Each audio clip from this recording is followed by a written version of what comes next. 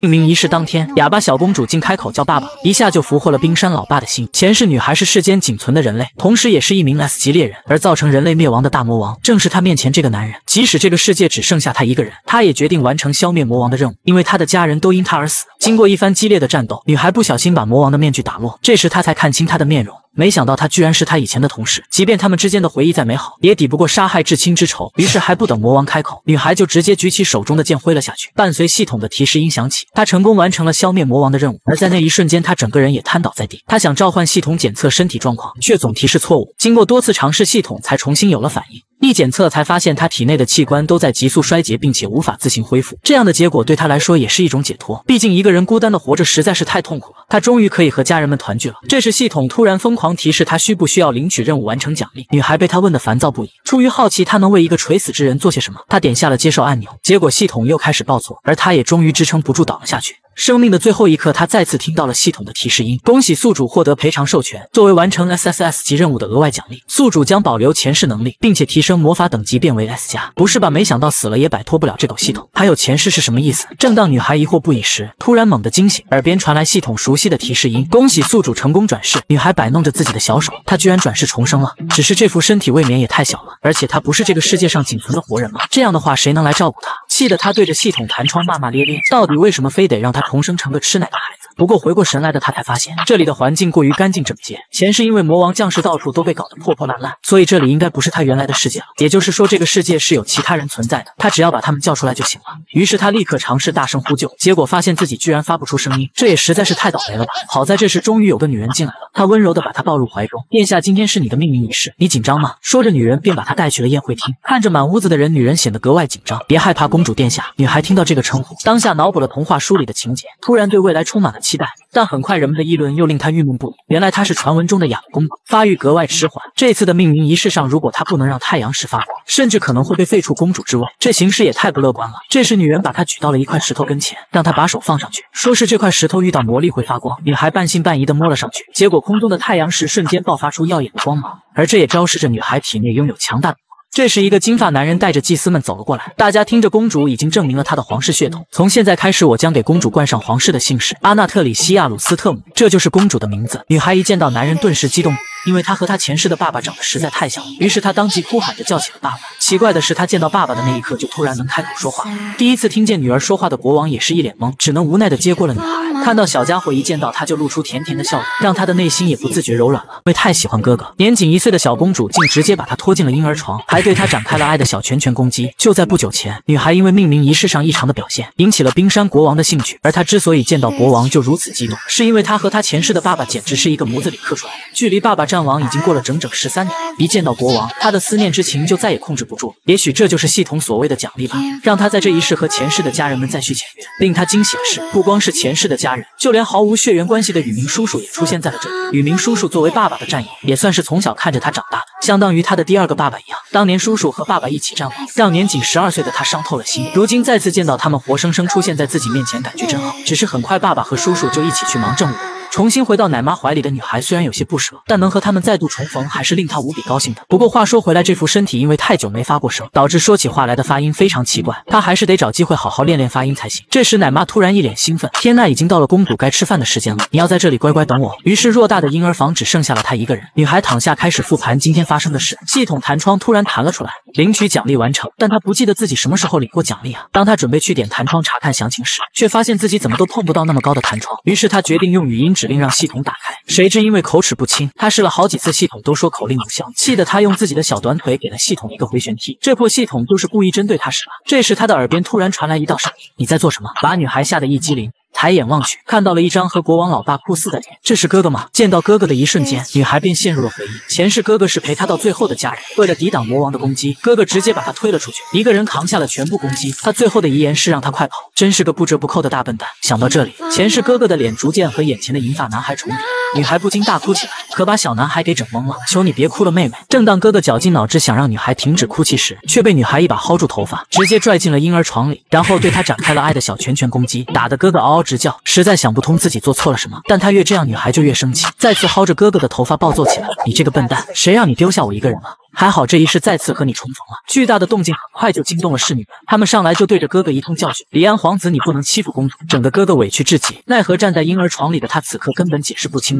等他爬出来，指认女孩才是罪魁祸首时，场面一度非常尴尬。侍女们根本不相信只会吃奶的小公主会做出那样的事，把哥哥委屈的都快哭了。女孩见他吃瘪的模样，有些好笑。于是主动扑进他的怀抱，然后悄悄凑到他耳边威胁道：“别较真了，再坚持下去有你好受的。”哥哥捂着自己的耳朵，有些不敢置信。他不敢想象自己年仅一岁的妹妹竟然会威胁他。不过他还是默默吃下了这个哑巴亏，毕竟他的妹妹只能他来宠了。经过几天的尝试，女孩终于成功打开了系统，而系统也立即提示他有任务完成了。原来昨晚和哥哥的那次见面。竟在不知不觉中就完成了驯服哥哥的任务，而且还是几乎刚发布就完成了，实在是太荒谬了。不愧是他。正当他准备领取奖励时，系统居然又开始报错了，真是受够这个破系统了！一到关键时刻就掉链子。满是重生的小公主意外发现自己的妈妈竟不知所踪，而且所有人都默契的从不提妈妈的行踪。难道今生的她还是不能实现大团圆结局吗？前不久，女孩正准备领取任务奖励时，又遇上了系统报错。对于这已经不知道第几次报错的破系统，哪怕是一岁的小婴儿也忍不住口吐芬芳。但女孩并不打算轻易放弃，终终于在经历了无。数次尝试后，系统终于给出了补偿奖励。果然，只要出现报错，他就会这样。但还是莫名有点不爽。不过还是先领了再说。补偿奖励的领取倒是出乎意料的顺利，系统直接给了他一枚 S 级技能石。当女孩满怀期待的想看看获得了什么新技能时，却在看到技能名称的一瞬间直接懵了。鼓励与成长的噼噼砰砰，使用时能激活或恢复对方的魔法回路，次数限制了五次。这是什么奇怪的技能？不过试想一下，如果对雨明叔叔用这招，恐怕他会兴奋的抱着他不停贴贴。想想就可怕，还是暂时把这技能封存当他关掉技能弹窗后。又弹出了一堆任务完成通知，这些似乎都是他出生后不久的任务记录，都是些成长过程中必会经历的事。看来系统是想让他好好成长。难道今生魔王还会降世吗？但很快他又强迫自己别胡思乱想，毕竟还没见到妈妈呢。想到刚才的补偿奖励，女孩再次对着系统一通乱点，想让他报错。经过一番折腾，他终于再次报错，成功让女孩获得了一级道具成长药水。这是前世身为 S 级猎人的他看都不会看的道具，但今生的他却格外需要。于是女孩当即把一整瓶猛的灌了下去，很快就得到系统提示成长值加一，而药水的效果在第二天就显现了出来。看到女孩很快喝完了一整瓶奶，侍女姐姐们都兴奋不已。接着他们又尝试给她喂辅食，看到她吃的很好，他们都忍不住流下激动的泪水。之前尝试了数百次都没成功，如今她终于能够吃辅食了。做完这些后。成长值再次加一，女孩开始扶着婴儿床的栏杆练习站立。奶妈觉得也许这是一个学习走路的好机会，于是当即把她抱了出来，开始在前面不停逗弄蜥蜴。女孩也十分听话的慢慢尝试走路，尽管最后还是不小心摔倒了，但好在有小蜜蜂枕头才避免了脑袋的磕碰。不过侍女姐姐们已经很满意了，因为她整整独立行走了五步。为了纪念女孩学会走路，侍女姐姐当即在地上做起了记号，惹得女孩害羞不已。奶妈也一脸欣慰的抱起女孩。如果皇后殿下见到您这样，一定会很高兴吧？奶妈说完，侍女姐姐们的脸上露出了悲伤的神色。女孩也意识到了不对劲。说起来，重生以来，妈妈从来没来看过她。明明连雨明叔叔都早早碰面了，难道因为妈妈是皇后，所以很忙？看来她得找机会问问最有可能知道真相的人。于是这天，当哥哥兴冲冲来找她时，女孩便摆出一副忧郁的模样，不停地喊着妈妈。谁知哥哥听到这话，脸色猛地一变，直接大声喊了句不知道，然后边骂他是笨蛋边跑走。看到哥哥这样的态度，女孩顿时有了不好的预感。难道今生的妈妈已经不在人世了？想到这里，他忍不住哇哇大哭起来。前世每当年幼的他哭泣时，妈妈总会让他不要哭。他说，女人一生只哭三次，所以除非是特别伤心难过的事，否则轻易不能落泪。他记住了妈妈的话，成为了一个坚强的人。但如果说这话的当事人都不在，一切又还有什么意义呢？前世是爸爸最先离开，今生又变成了妈妈吗？这该死的系统果然不会让他好过。李英没有魔力，帝国唯一的皇子竟被大臣之子要求当众下跪，这让歌控小公主完全忍不了了。她的哥哥将由她来守护。就在不久前，女孩因为妈妈的生死未卜，嚎啕大哭了一场。自那之后，她开始变得不爱吃东西，心情总是十分低落，这可愁坏了侍女姐姐们。于是他们连忙找来各种玩具，企图让女孩开心起来，但效果都不是很明显。而女孩也知道这么下去不是办法，恐怕侍女姐姐们是害怕她重新变回白痴公主。为了她自己，也为了侍女姐姐们，她必须重新振作起来。终于，她主动走向玩具，开始玩了起来，这让奶妈欣慰不已。但刚把玩具拿到手的女孩就察觉到了不对劲，这好像不是普通的积木，而是魔力石。前世这种东西只有杀死怪物才能获取，没想到在这里居然这么常见。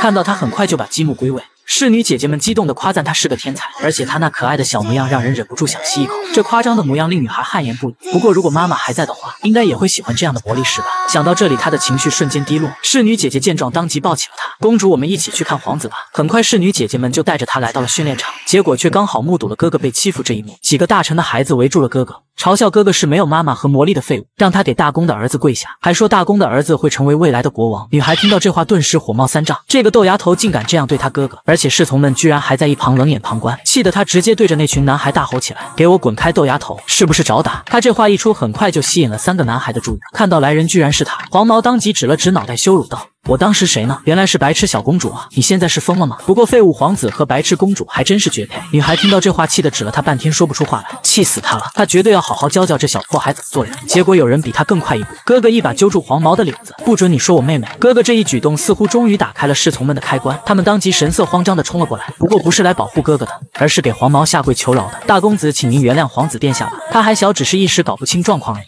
说罢，他们还要推搡着哥哥，让他给黄毛道歉。黄毛见状，立刻得意起来。只要你愿意跪下和我认错，我就勉为其难原谅你，还允许你在这座皇宫住到成年。听到这话，哥哥突然微微屈膝，这让女孩急得不行。她的哥哥怎么能这么没骨气？结果下一秒，哥哥猛地撞向黄毛的下巴。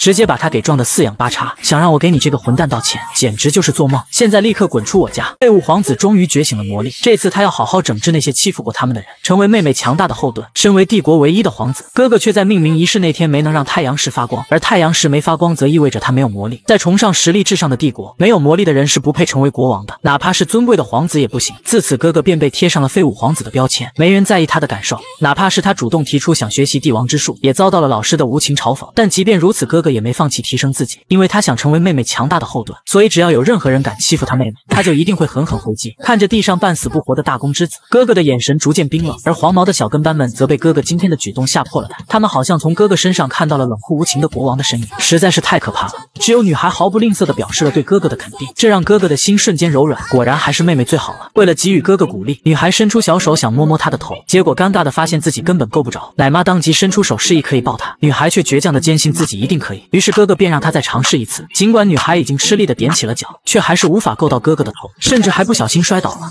这下她终于认命了，只是没想到哥哥才七岁，竟然已经如此高大了。突然，哥哥的头猛地低了下来，然后他轻轻拿起女孩的小手放在头顶上。怎么样，现在是不是能够到了？虽然对哥哥这种耍帅的行为很不爽，但女孩还是很贴心的替他加油打气了。这时，昏迷的黄毛突然醒了过来，他先是狠狠斥责哥哥这个废物竟敢让他受伤，然后又对着他的小弟们一阵拳打脚踢。最后还不忘再次让哥哥向他下跪求饶，不过这次他们并没有理睬黄毛，这让黄毛彻底怒了。他竟然想对兄妹俩使用魔法，但女孩可不允许他在这撒野，当即用防护罩围住奶妈等人，然后同样发动了魔法。受到惊吓的黄毛不顾众人的劝阻，直接把手中的火球扔了出去。哥哥见女孩有危险，毫不犹豫地挡在了她身前，就如同前世一样。但这次女孩再也不想失去他，于是女孩当即施展了高阶魔法，召唤出一只火凤凰朝黄毛扔去。黄毛直接被火凤凰吓得跌坐在地，然后下一秒火凤凰就开始疯狂啄他的头，痛得受不了的他。只能落荒而逃，并且还在逃跑的过程中发现自己竟然尿裤子了。这下他的一世英名算是彻底毁了，而且还有那么多目击者，这一切都是拜那对兄妹所赐。于是他当即指着哥哥破口大骂：“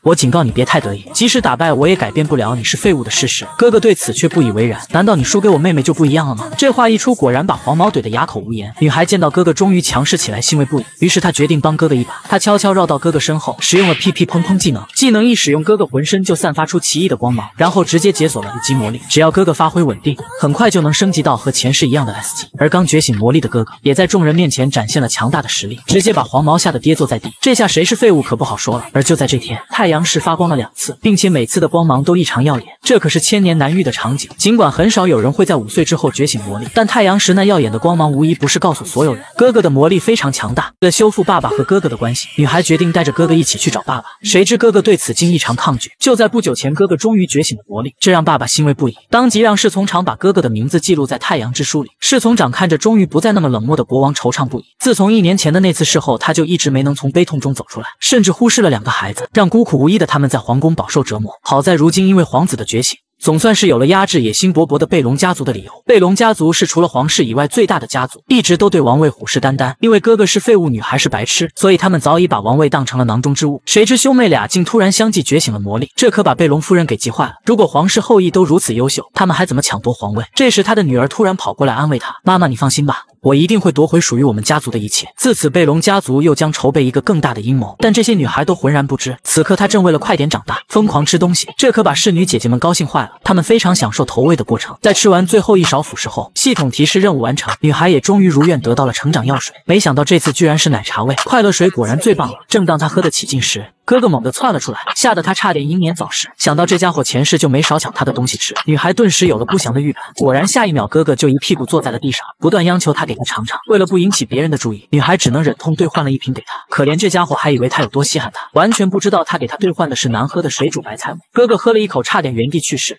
这时，女孩却故意在他面前卖萌：“哥哥一定要全部喝完哦，不然就讨厌你。”为了不让宝贝妹妹伤心，哥哥只能硬着头皮灌完了一整瓶。喝完之后，直接瘫倒在地，果然还是和前世一样弱。不过话说回来，这个点他不是应该要上课才对？面对女孩的质疑，哥哥只是敷衍的回复：“今天没课。”当了二十几年兄妹的女孩早就对他了如指掌，一眼便看出他在说谎。但无论他怎么赶他跑，甚至搬出了爸爸，他都仍旧不为所动。看来今生爸爸和哥哥的父子关系有点奇怪。晚上回到住处的哥哥立即开始清理门户，把对他冷暴力多年的侍从全赶走了。其实他早就知道这些人是贝隆家族的眼线，如今终于有机会摆脱他们了。侍从长刚好撞见这一幕，立刻朝哥哥跪下，负荆请罪：“一切都是我的失职，请惩罚我皇子殿下。”哥哥大度的原谅了他，并让他说明来意。侍从长当即掏出传说中的太阳之书，递到哥哥面前。这本书相当于皇室的族谱，历代觉醒魔力的皇室成员的名字都会被收录。哥哥。轻轻把手放了上去，太阳之书瞬间发出耀眼的光芒，下一秒哥哥的名字便被刻了上去。侍从长对哥哥表示了祝福。想到今天发生的事，他决定要好好彻查一下皇宫里侍从的底细，一定要杜绝这类事情再次发生。在那之后又过去两周，自从哥哥的名字被太阳之书收录后，爸爸近一次都没来看过他。不过这些哥哥早就习惯了，只是他有些心疼妹妹。如果他知道爸爸是这样一个冷血无情的人，会有多难过？毕竟他是那样喜欢爸爸，但他绝不允许任何人让妹妹伤心，哪怕是爸爸也不行。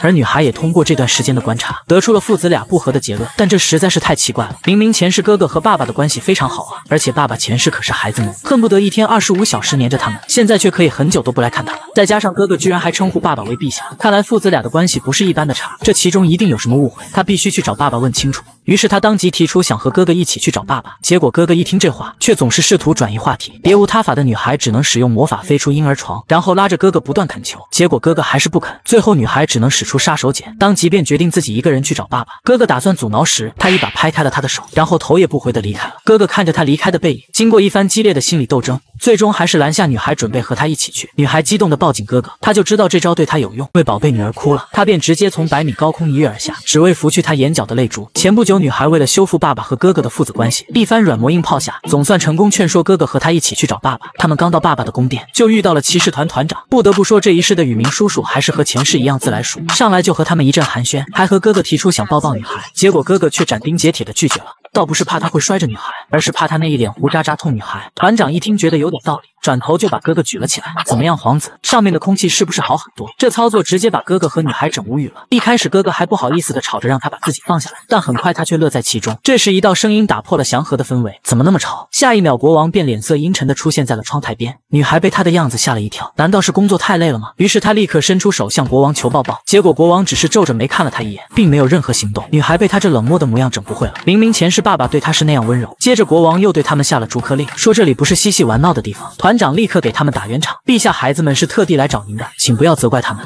结果爸爸仍旧不为所动，哥哥似乎早就料到会是这种结果，愤怒地瞪着爸爸。看来形势远比他想象的还要复杂，爸爸身上一定发生了什么。哥哥的态度表明这不是一天两天的事了，而且似乎是和妈妈有关的。除此之外，想不出别的可能了。正当女孩这么想时，系统的弹窗又跳了出来。这次的任务是攻略爸爸。原来爸爸在一年前受到某件事影响，才会变成如今这副冷血无情的模样。而此次任务就是帮助爸爸解开心结，和他们重新修复关系。但任务的介绍半句重点都没提，他对于爸爸的心结根本毫无厘头。而且这个破系统突然又开始暴走。大量弹窗的刷屏一下刺激的他泪流满面，还刚好让哥哥看到了他这副模样，这让哥哥更加怨恨爸爸。现在你连妹妹也要伤害了吗？爸爸看到女孩哭泣，毫不犹豫的从百米高空一跃而下，然后伸手轻轻擦去她的泪水。正当女孩愣神之际，哥哥猛地拍开她的手，请不要随便碰我妹妹，陛下，都怪你弄哭了她。现在才开始在意吗？起初女孩只觉得哥哥是不是疯了，居然那样说爸爸，但看到周围的人都对此沉默，她顿时意识到不妙，看来这下误会大了。如果不赶快解释清楚。爸爸恐怕要成为只会弄哭女儿的渣爹了。于是他连忙和众人解释自己不是被爸爸弄哭的，结果压根没人相信。哥哥还要拉着他离开，最后别无他法的女孩只能动用魔法，猛地扑进了爸爸怀里。他相信爸爸一定是爱他们的，因为他身上散发出的温柔的光辉是不会骗人的。正当他想和爸爸好好培养一下感情时，却还是被哥哥无情拖走了。但他绝不会就此罢休，这次他一定要拯救爸爸，为了早日解开爸爸的心结。女孩不惜动用魔法飞上百米高楼，只为给他送上好不容易找到的三叶草。前不久，由于女孩想帮爸爸和哥哥修复关系，便。强行拉着哥哥一起去找爸爸。谁知却因为某些误会，让父子关系更加恶劣。于是为了挽救他们的关系，也为了解开爸爸的心结，女孩便开启了攻略任务。先是大清早跑去花园找三叶草，然后用魔法飞到爸爸窗边送给他。虽然着实是把爸爸吓得不轻，但好在爸爸对他送的三叶草视若珍宝，还特地养在了茶杯里，这让侍从长激动得热泪盈眶。也许女孩真的能融化国王冰封已久的心。除了每天去爸爸面前刷存在感外，身为一岁小婴儿的任务就是好好吃饭，快快长大。这天他突然发现了一丝不对劲，餐桌上竟然没有粘人精哥哥的身影。要知道他是不会放弃和他待在一起的每分每秒的。于是他试探地询问奶妈哥哥的行踪，奶妈只觉得哥哥是因为某件事耽误了，并没有在意。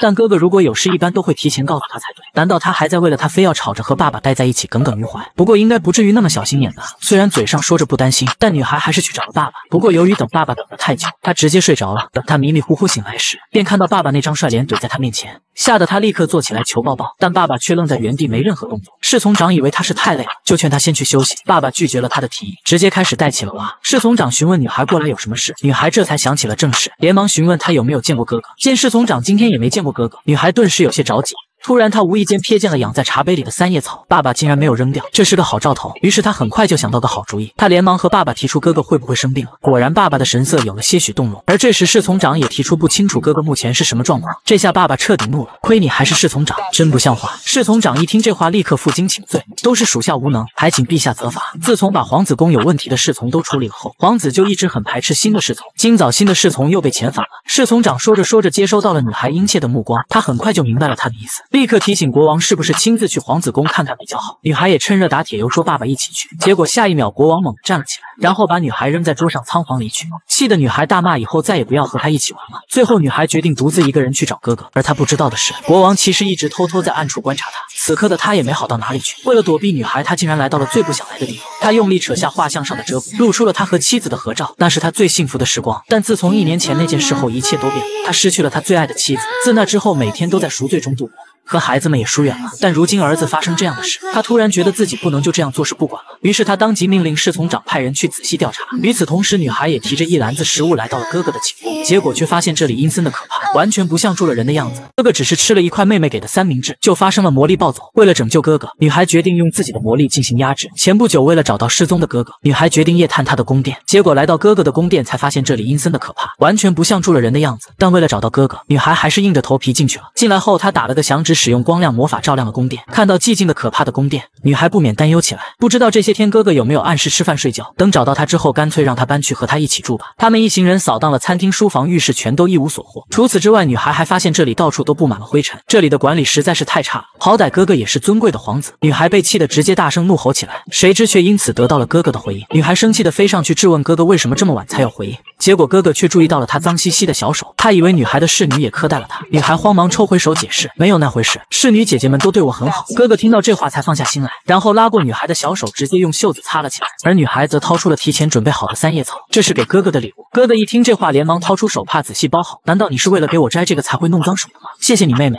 这是我人生中第二重要的宝。我会珍藏一辈子的。看到哥哥欢喜的模样，女孩欣慰不已。三叶草的花语是幸福，希望她也能给哥哥带来幸福。不过为什么是第二重要呢？哥哥笑着表示，女孩才是他第一重要的宝物。但女孩却很快从哥哥的笑容中捕捉到一丝不对劲。那为什么这些天都没来找我？哥哥本想用其他话题敷衍过去，却直接被女孩狠狠咬住了手。于是哥哥只能说是他想独自修炼魔力。女孩一听这话更气了，一看他就没说实话。最后在女孩的再三逼问下，哥哥终于说出他是因为那天女孩非要黏着爸爸生气了。不过鉴于女孩送了三叶草给他，所以现在他已经原谅女孩了。这时，哥哥注意到了女孩篮子里的三明治。侍女们见状，立刻急吼吼地冲上楼，七嘴八舌地告诉哥哥，这是女孩亲手做的三明治。哥哥虽然很想吃。但刚刚他已经吃饱了，实在是吃不下。最后在女孩的一再恳求下，他才勉为其难的准备尝尝看。谁知刚吃一口，他的脸色就变得很难看。侍女们以为他是噎着了，连忙给他递水。只有女孩察觉到了哥哥周遭的气场不对劲，下一秒哥哥一把挥开了奶妈的手，并让他们离他远点，然后就体力不支倒了下去。侍女们见状，当即就想叫医生，哥哥却一直恳求他们别靠近，并让他们快带女孩离开。这时奶妈才意识到哥哥可能即将魔力暴走，而女孩也和奶妈想到了一块，她当即挣脱侍女的怀抱，为他们三人施加了防护罩，然后朝着哥哥飞去。等他来到哥哥。的面前时，哥哥还用虚弱的声音让他快跑，这说明哥哥还保留了神智，这是一个好现象。如果失去神智，只会变得更糟糕。这时，女孩注意到了哥哥周遭奇怪的光环。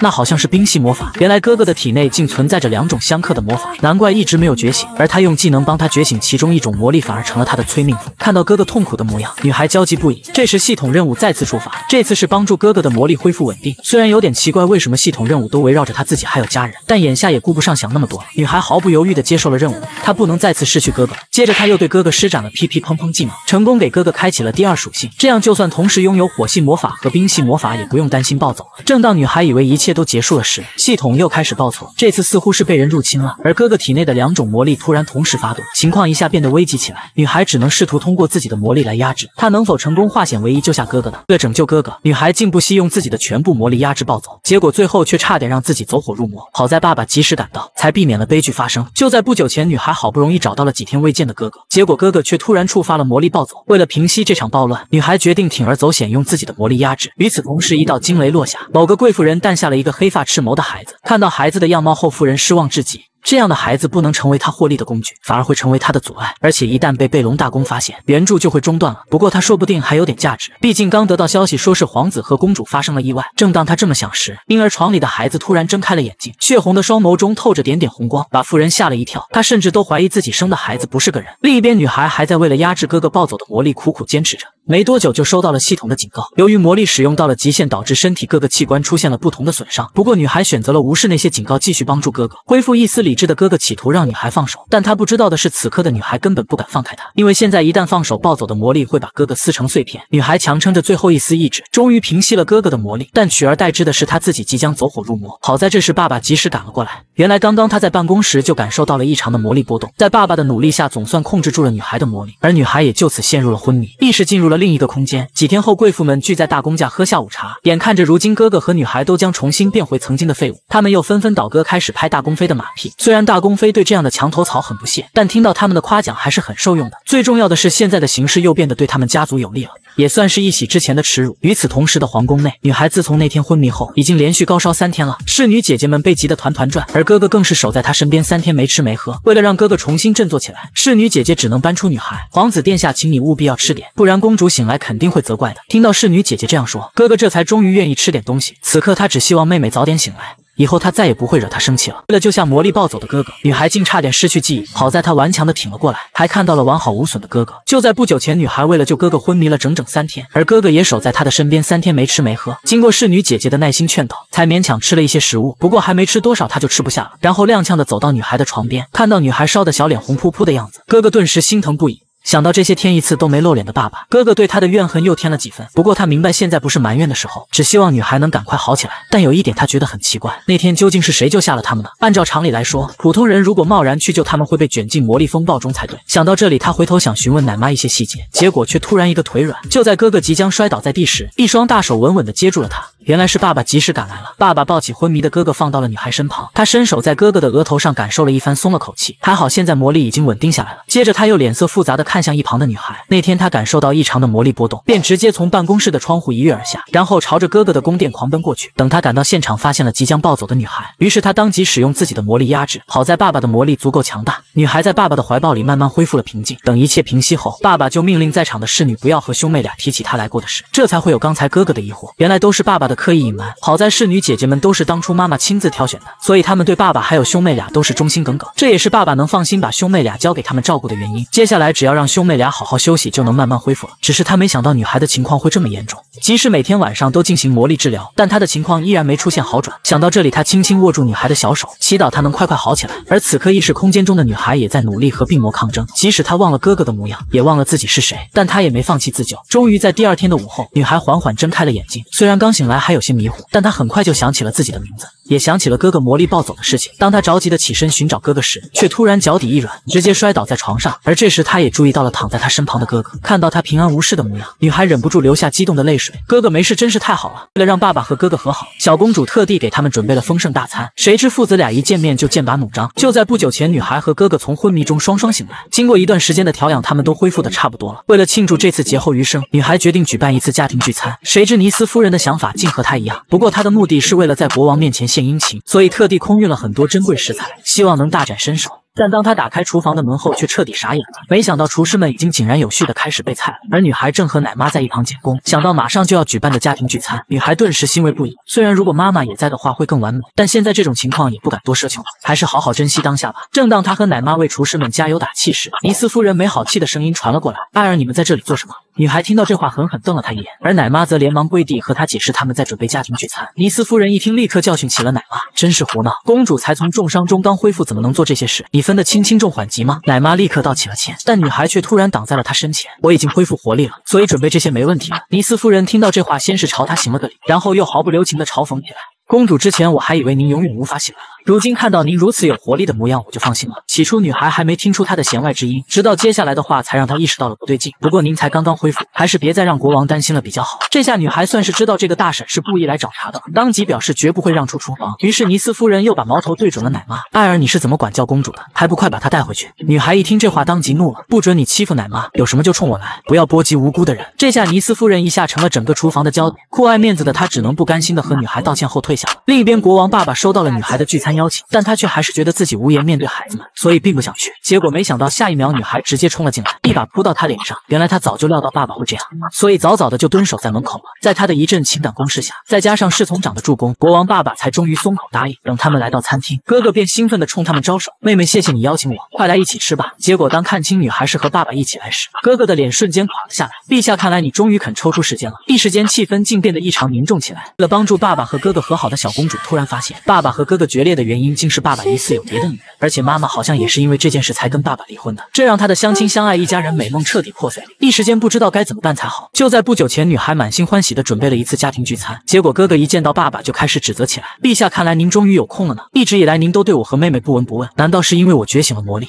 所以您现在才来假装关心我的吗？”女孩眼看哥哥越说越过分，连忙出手制止：“别这样说，爸爸，哥哥，你再这样我要生气了。”没想到哥哥却突然叹了口气：“妹妹啊，你什么都不知道，我讨厌你们。”说罢，哥哥便冲破窗户径直跳了。下去，感情跳窗这件事是祖传的吗？怎么一个两个都这么爱跳？看着哥哥渐行渐远的背影，女孩还是一头雾水。她至今都搞不懂爸爸和哥哥之间究竟怎么了，而他们显然都不想告诉她。果然，下一秒爸爸也借口离开了，任凭女孩如何挽留都没用，他只留下一句对不起，便匆匆离去。等到他们都离开后，女孩还是对今天的事耿耿于怀。明明上辈子他们家这么和睦，怎么今生会变成这样？爸爸和哥哥之间到底发生了些什么呢？想到这里，女孩忍不住点开系统弹窗，希望看看有没有有用的任务通知。但偏偏这种时候她就没有任务，而且还没点几下，又开始报错起来。真受不了这破系统，要不还是就此摆烂吧。正当女孩这么想时，系统突然提示让她确认技能树，女孩立。刻迫不及待地点开看了起来，结果竟意外发现自己多了个可以读取对方记忆的累积技能。虽然知道随便偷看别人的记忆是不对的，但眼下只有这个办法才能破局了。于是女孩当即便喊上奶妈，他们一起去了哥哥宫里。此刻的哥哥正在暗自伤神，一听女孩来了，立刻和她道起了歉。刚才的事对不起妹妹，明明是你辛苦为我们准备了饭菜。女孩表示她并不介意，并让奶妈他们暂时退下。接着她又一脸严肃地询问哥哥到底和爸爸之间发生过什么。果然哥哥还是一如既往的不肯说。既然如此，女孩也只能使用技能了。虽然有点对不起哥哥，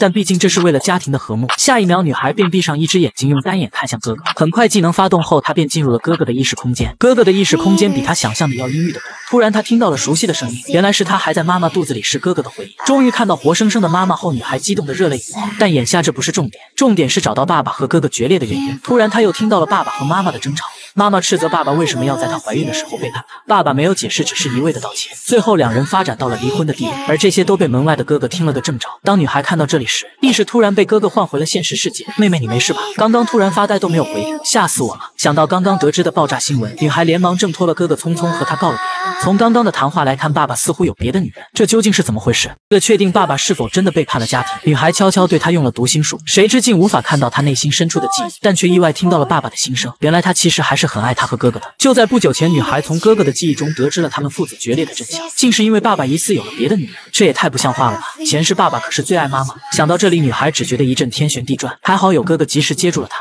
才避免了摔倒。妹妹，你还好吗？难道我离开后，陛下又对你说了些什么？女孩一听这话，立刻打起了圆场，才没有那种事，我只是有点累了。哥哥听到她这样说，顿时紧张的不行。也是你的病才刚好，会不会太勉强了？如果有困难，一定要及时告诉我，因为你是我最真实的妹妹。女孩听到这话，连连答应。虽然话是这么说，但关于爸爸的绯闻，哥哥一定不。会他细说。于是他只能亲自找到爸爸，准备用读心术一探究竟。结果当他对爸爸发动技能时，却被告知技能错误。在一连几次错误后，正当女孩怀疑这鬼系统又抽风时，他又弹出了一个弹窗，上面竟然显示着爸爸的心声。他正在夸他真可爱。看来他这个技能不能看到爸爸内心深处的记忆，但却能听到他的心声。不过光凭心声就能确定爸爸还是爱着他们兄妹俩的。于是女孩当即对着爸爸撒起了娇，还主动爬到了他怀里。看到女孩这可爱的模样，爸爸忍不住摸了摸她的头，感受到爸爸温柔的女孩当即觉得哥哥一定是误会，毕竟这样爱他们的爸爸怎么会做出那种事？想到这里，他认真的看向了爸爸。爸爸，我知道其实是你救了我和哥哥，因为你也深深爱着我。爸爸听到他这话，猛地一惊，显然没想到他会突然这么说，耳尖不由得泛起了红晕。妈妈曾说过，爸爸只要害羞了，耳尖就会变红。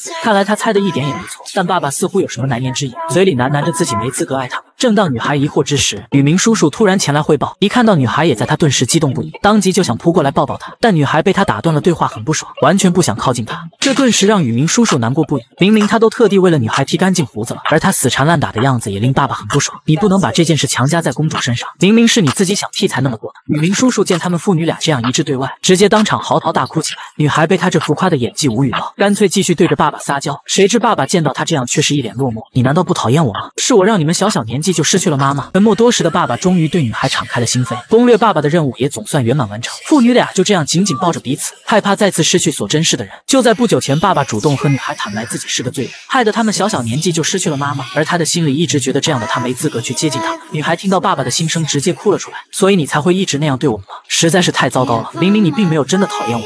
看到女孩越哭越凶的模样，爸爸连忙把她抱起来哄。结果女孩的眼泪却根本止不住。其实我很喜欢和爸爸一起玩，但我讨厌那样假装讨厌我们的你。明明我们好不容易才再次相见，前世爸爸的离世给了他们一家莫大的打击，他们强忍悲痛举办了一场没有遗体的葬礼。所以在今生重逢之时，女孩才会那样激动。结果爸爸却一直对她那么冷漠，实在是太伤人心了。爸爸见她这样，连忙把她揽进了怀里。他不明白该怎么安慰暴哭的小女儿，听到她哭得如此撕心裂肺，让他也忍不住眼眶湿润，只能一遍又一遍地和女孩诉说着对不起。这时系统响起了久违的提示音：攻略爸爸任务完成，开启新的分支任务，和爸爸变得亲近。另一边，在得知他们父子三个吵架后，尼斯夫人就匆匆赶来找哥哥挑拨离间。现在正是让他们决裂的好时机。当他走到门口时，突然听到哥哥正在赶布什中将离开。尽管布什中将一直表示他是爸爸派来保护他的，但哥哥却怎么也不相信。这些年来的不闻不问，再加上妈妈那件事，让他早就对爸爸死心了。现在他只想让布什中将赶紧离开。尼斯夫人偷听到这些，只觉得好笑。爸爸派布什中将过来，其实就已经是默认哥哥是继承人了。没想到那傻小子居然要赶他走，这情形对他真是太有利了。于是他一把推开房门，让布什中将赶快识相的离开。一直赖着不走，难道是想造反不成？而哥哥也很快注意到了他身上那件原本属于妈妈的衣服。下一秒，哥哥的周遭便凝聚起了魔力气流。然后他恶狠狠地质问尼斯夫人为什么穿着妈妈的衣服，并让尼斯夫人想清楚再说，不然他也不知道自己会怎么处理偷走妈妈东西的小偷。尼斯夫人一听这话，大惊失色，连忙跪地求饶，冤枉啊皇子殿下，这是皇后殿下送给我的，说是最后的礼物。在得到这个回复后，哥哥恢复了平静，并让他们两个滚出去。结果没想到尼斯夫人居然赖着不走，还认为哥哥是个好糊弄的小孩。皇子殿下、皇后殿下曾恳切的拜托我，一定要好好照顾你。哥哥听到这话，猛地一愣，不包括妹妹，只有我吗？尼斯夫人一见他上钩了，顿时喜笑颜开。当然了，皇后殿下只爱您一个人。今后我会代替皇后殿下好好爱护您的，会比国王陛下还要做得更好。没想到他刚一说完，哥哥就一把推开了他。你这个骗子，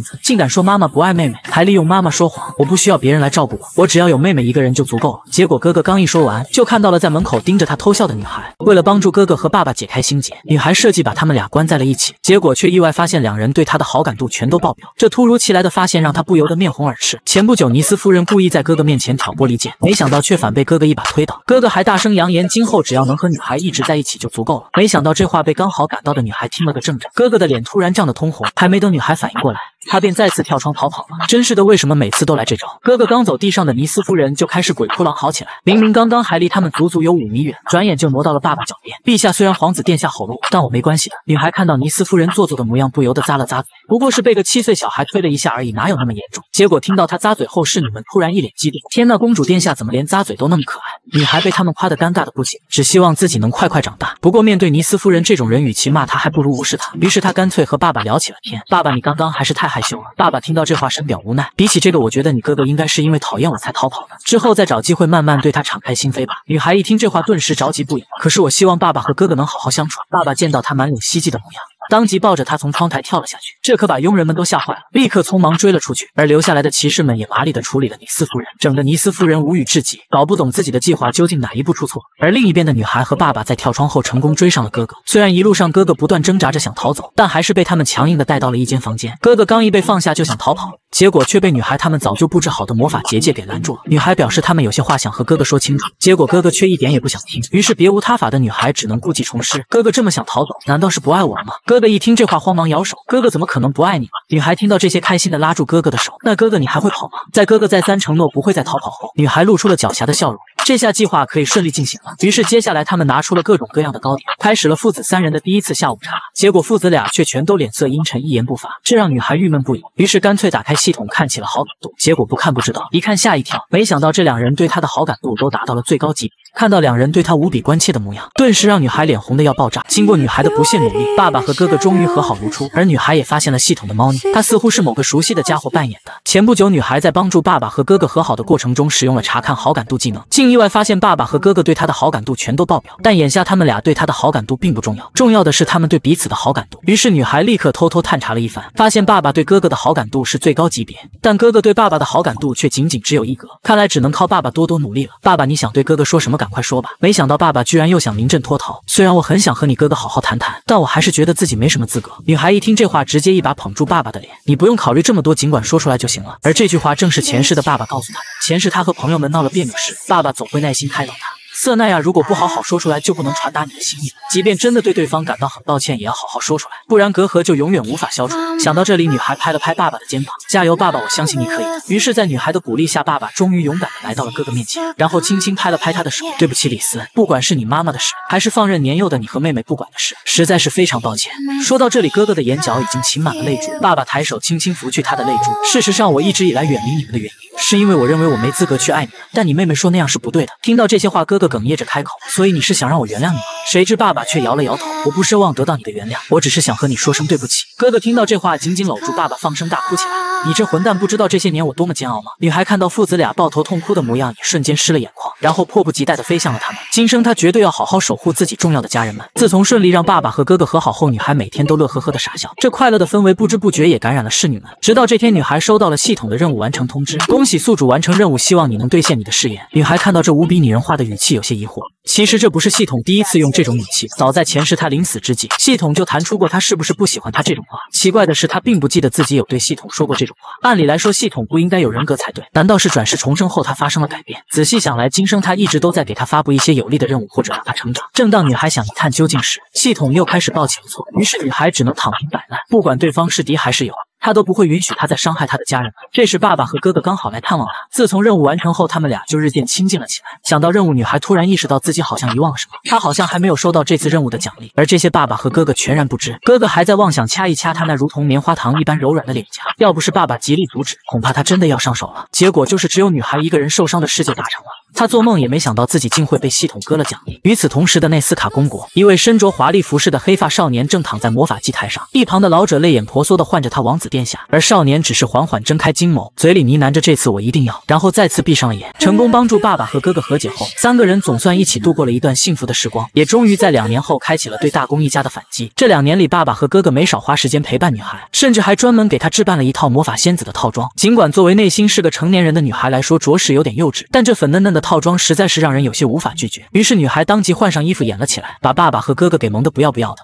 不仅如此，哥哥还热衷于找各种好玩的玩具给她。这天，他又带来一个娃娃屋，他觉得里面的公主玩偶实在是太像女孩了，所以才会迫不及待端过来献宝。而女孩在看到娃娃屋后，轻描淡写的夸了句很可爱，就没后续了。这顿时让哥哥紧张不已，生怕她不喜欢。见到哥哥那样，女孩当即拿出玩偶邀请他一起玩。她选了公主和魔王的玩偶，而哥哥则选了王子的玩偶。看到两人玩的不亦乐乎的模样。奶妈也是欣慰不已。这时，侍女突然在门口轻声呼唤奶妈，这顿时引起了女孩的警觉，有点好奇他们要讲什么悄悄话。于是，女孩当即停下手中的动作，偷听了起来。另一边，侍女把奶妈叫出去后，便和她讲起了最近流传的谣言。原来是不知道谁到处造谣说哥哥自从经历魔力暴走事件后就失去了魔力，而女孩也因为那次事件重新变回了白痴，并且造谣者还说爸爸在得知这些后决定抛弃兄妹俩。转而收养贝隆大公的一双儿女。女孩听到这些，当即捏紧了拳头。他们还真敢想，不过这恐怕是因为他们一家太久没露面的缘故。自从解开误会后，他们就更加珍惜在一起的时光。没想到反而成了有心人歪曲事实的依据。这时，一旁同样偷听的哥哥悄悄询问女孩接下来该怎么办。女孩比了个手势，表示当然要狠狠反击，不然他们还真以为他们家这么好欺负。于是次日，爸爸就举办了宴会，邀请贵族们赴宴。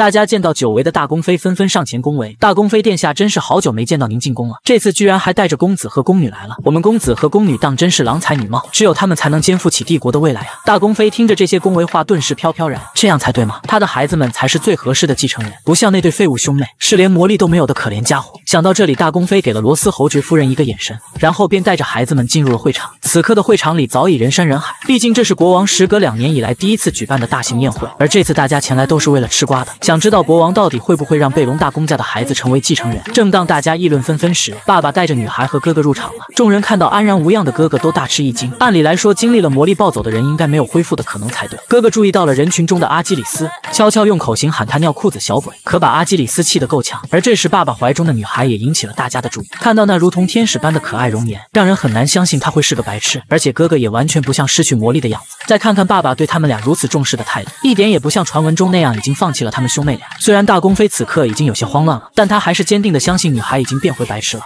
而这么疼爱孩子的国王也一定会接受他的孩子。于是他再次向罗斯侯爵夫人使了眼色，接着罗斯侯爵夫人便直接来到了爸爸面前：“陛下，请允许我以帝国的子民的身份斗胆向您进言，请您让贝隆大公子和大宫女成为您的继承人吧，这样才能让民众们放心。”躲在爸爸披风下的女孩听到这番话，露出狡黠的笑容。果然，一切都和她预想的一样。时隔两年，女孩终于联手爸爸和哥哥收拾了大公一家。自此，关于她和哥哥是废物的谣言不攻自而他们一家也即将迎来幸福的未来。就在不久前，罗斯侯爵夫人在大公妃的怂恿下，跑到爸爸面前进言，希望爸爸能把大公家的一双儿女立为继承人。这话一出，顿时引来了大家的议论。尽管这件事是理所当然的事，但就这么当着女孩和哥哥的面提出来，也太过分了吧？而藏在爸爸披风下的女孩却乐见其成。这意味着大公妃那个笨蛋上钩了，接下来他会要他们好看。结果没想到，这时爸爸突然不按常理出牌。只见他脸色阴沉的质问罗斯侯爵夫人：“我不明白你在说什么？皇子和公主都是曾让太阳石发过光的人，怎么就没资格当继承人了？”爸爸话音刚落，在场所有人就感受到一股莫名的威压。骑士团团长默默看着那些受罚的人，无奈至极。这些人就是过得太安逸了，才忘了当今国王是经历了怎样的血战夺得皇位的。他不仅在继承之争中凭借一己之力除掉了五个竞争者，更是亲自斩首了企图造反的同父异母的哥哥。虽然在遇到皇后后，他有所收敛，并在失去皇后后变得无欲无求，但其实他骨子里还是那个令人闻风丧胆的杀神。所以这些人敢触碰国王的逆鳞，简直就是找死。而女孩也意识到爸爸的情绪隐隐有些失控，当即紧紧拽住他的衣服，制止了他。看到爸爸恢复理智，大宫妃颤颤巍巍出来打圆场：“陛下，您怎么能这样逼迫勇于进言的忠臣呢？来人，还不快把他扶下去！”听到这话，众人立刻七手八脚的把罗斯侯爵夫人带了下去。经过医生诊断，她心理上受到了极大的打击，需要静养好几个月。这顿时让女孩恨铁不成钢。如果不是爸爸这么沉不住气，他就能借此机会好好修理大公妃和豆芽头了。看到宝贝女儿气鼓鼓的小模样，爸爸当即道起了歉：“对不起，宝贝，我不是故意的。”看到爸爸如此卑微的哄着女孩，阿基里斯绷不住了。凭什么那个废物能当皇子，我却不能？陛下，您不是说好要让我当皇子的吗？大公妃看到儿子这样，顿感不妙。对不起，陛下，阿基里斯还是个不懂事的孩子，有些口无遮拦，还请您务必原谅他。结果阿基里斯听到他这样说，更暴躁了。我哪有不懂事，妈妈？明明大家都说我会成为皇子。哥哥听到他的话，忍不住冷笑一声：“如果皇子是你这样的人，恐怕太阳神都会会叹息。”阿基里斯一听，顿时不爽了：“你这失去魔力的废物，有什么资格侮辱我？早在两年前，你魔力暴走的事就传开了。但凡引发魔力暴走的皇族，至今没有一个恢复魔力的。”大宫妃见状，也帮着儿子说话：“是啊，大家都知道皇子殿下引发了魔力暴走，而公主殿下因为发烧，似乎也有些神志不清。”哥哥看到母子俩一唱一和的模样，只觉得好笑。暂且不论我和妹妹，就算真让你继承皇位，难道国家的未来就会一片光明吗？阿基里斯被他对得哑口无言，当即就想上前用魔法给哥哥点颜色瞧瞧。结果没想到哥哥的手中突然浮现出白色色的光芒，两道魔力碰撞后，明显是哥哥更胜一筹。哥哥冷冷的看着狼狈不堪的阿基里斯，默默的收回了踩在他胸口的脚。